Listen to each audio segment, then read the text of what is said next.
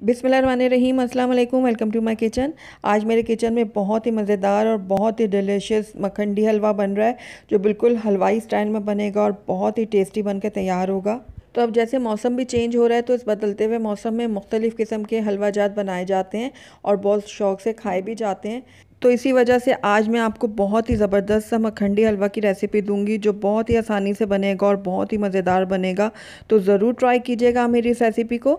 तो चलिए इसको बनाना स्टार्ट करते हैं, लेकिन उससे पहले अगर आप मेरे चैनल पर नए हैं तो काइंडली इसको सब्सक्राइब कर दें और साथ ही बेलाइकन को भी प्रेस कर दें, ताकि मेरी हर नई आने वाली वीडियो की नोटिफिकेशन सबसे पहले आप तक पहुँचे।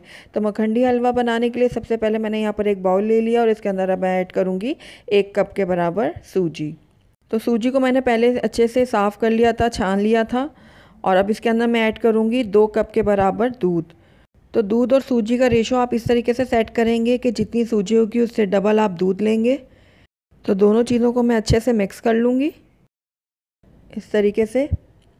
अब इसको मैं कवर करूँगी और कम से कम आधा घंटा और ज़्यादा से ज़्यादा, डेढ़ से दो घंटा इसको मैं इसी दूध में भिगो के रख दूँगी।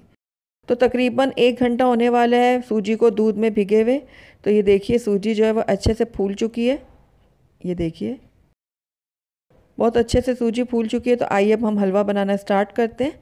तो सबसे पहले मैंने यहाँ पर एक पैन ले लिया। इसके अंदर एक खाने का चम्मच मैं डालूँगी देसी घी। तो घी जैसे ही थोड़ा सा मेल्ट होगा तो इसके अंदर मैं कुछ ड्राई फ्रूट जो है वो फ्राई करूँगी। तो यहाँ पर मैंने पिस्ता, बादाम और कुछ काजू ले लिए। तो इनको मैंने छोटा छोटा काट लिया है आप अपनी मर्ज़ी का कोई भी ड्राई फ्रूट ले सकते हैं और अगर नहीं डालना चाहते तो इसको स्किप भी कर सकते हैं, इसके बगैर भी हलवा बहुत ही मज़ेदार बनेगा। तो ये ड्राई फ्रूट जो हैं वो मैंने डाल दिए हैं घी में।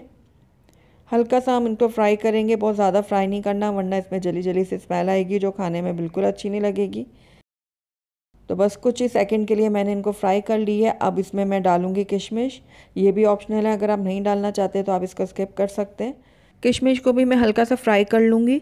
तो ये हमारे जो नट्स हैं, बिल्कुल रेडी हैं फ्राई होकर तो इनको एक तरफ़ रख देती हूँ मैं। उसके बाद मैं यहाँ पर लूँगी एक कढ़ाई और कढ़ाई में ऐड करूँगी एक कप के बराबर देसी घी। आप चाहें तो बनास्पति भी ले सकते हैं, लेकिन देसी घी में जो हलवे होते हैं और मीठे होते हैं, वो बहुत ज़्यादा टेस्टी बनते हैं। तो इसलिए कोशिश करिएगा कि आप भी देसी घी का इस्तेमाल करें। तो देसी घी जैसे ही थोड़ा सा गर्म होगा तो इसके अंदर मैं ऐड करूँगी चीनी। मैंने यहाँ पर एक कप चीनी का इस्तेमाल किया है। ये बिल्कुल परफेक्ट मेज़रमेंट है। अगर आप थोड़ी सी कम खाना पसंद करते हैं तो आप थ्री फोर्थ कप भी डाल सकते हैं। और अगर आप थोड़ा ज़्यादा खाना पसंद करते हैं तो आप एक कप से थोड़ा सा बढ़ा भी सकते हैं। अब चीनी को बिल्कुल लो फ्लेम में लगातार चम्मच चलाते हुए मैं पकाऊँगी। और जब चीनी मेल्ट हो जाएगी तो उसके बाद इसको मैं इतना पकाऊँगी कि ये कैरेमलाइज हो जाए। इसमें अच्छा सा कलर आना चाहिए। बहुत ज़्यादा आप इसको मत पकाइएगा चीनी को, वरना जो हलवे का टेस्ट है वो ख़राब हो जाएगा। तो आप देख रहे होंगे कि हल्के हल्के चीनी जो है वो मेल्ट होना शुरू हो गई है उसने अपना कलर भी चेंज करना शुरू कर दिया ये देखिए। तो बस चार से पाँच मिनट ही लगेंगे, चीनी अच्छे से मेल्ट हो जाएगी और अपना कलर चेंज कर लेगी। तो ये देखिए। देखिए कितना अच्छा सा कलर आ गया है चीनी में। तो अब इसके अंदर मैं सूजी ऐड करूँगी जो हमने दूध में भिगो के रखी हुई थी। तो अच्छे से मैं जो बॉल है अच्छा सा साफ़ कर लूँगी। इस तरीके से। और इसको मैं लगातार चम्मच चलाते हुए बिल्कुल लो फ्लेम में इसको पकाऊँगी।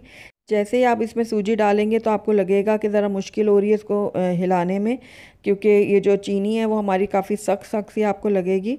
लेकिन जैसे जैसे ये पकता जाएगा, वैसे वैसे जो हमने इसमें चीनी का कैरमलाइज बनाया है, ये इसमें मिक्स होता जाएगा। तो ये देखिए, लगातार चम्मच चलाते हुए मैं इसको पका रही हूँ बिल्कुल लो फ्लेम में हम इसको पकाएँगे। तो ये देखिए चीनी जो है वो सूजी के साथ अच्छे से मिक्स हो गई है। अब मैं फ्लेम को थोड़ा मीडियम कर लूँगी और मीडियम फ्लेम में इसको तकरीबन 10 से 12 मिनट के लिए भून लूँगी। जितना अच्छा आप इसको भूनेंगे, उतना टेस्टी आपका हलवा बन के तैयार होगा। तो लगातार चम्मच चलाते हुए मैं इसको भून रही हूँ और बहुत अच्छी से खुशबू आ रही है हलवे में से। तो अब इस टाइम पे आकर इसके अंदर मैं थोड़ा सा ड्राई फ्रूट ऐड करूँगी जो हमने रोज़ करके रखे हुए थे। बाकी के मैं गार्निशिंग के लिए रख दूँगी। तो इसको भी मैं अच्छे से मिक्स कर लूँगी हलवे के साथ। तो ये देखिए, मज़ेदार सा हमारा मखंडी हलवा बन के तैयार है। तो आइए अब इसको हम सर्विंग डिश में निकाल लेते हैं। अल्हम्दुलिल्लाह हमारा बहुत ही टेस्टी और बहुत ही मज़ेदार सा मखंडी हलवा बन के तैयार है। बहुत ही डिलिशियस और बहुत ही टेस्टी हलवा बन के तैयार होता है। तो ज़रूर ट्राई कीजिएगा आप इन सर्दियों में इस हलवे को। आप और आपके घर वाले इस हलवे को ज़रूर इंजॉय करेंगे। तो अगर आपको मेरी रेसिपी पसंद आई है तो इसको लाइक करें, अपने दोस्तों के साथ शेयर करें और अगर पहली दफ़ा मेरे चैनल पे आएँ तो काइंडली इसको सब्सक्राइब भी कर लें और साथ ही बेल आइकन को भी प्रेस कर दें ताकि मेरी हर नई आने वाली वीडियो की नोटिफिकेशन सबसे पहले आप तक पहुँचे। और कमेंट करके मुझे ज़रूर बताइएगा कि आपको मेरी रेसिपी कैसी लगी। साथ ही मेरे फेसबुक और इंस्टाग्राम के पेज को भी लाइक करना मत भूलिएगा। थैंक यू फॉर वॉचिंग अल्लाह हाफिज़।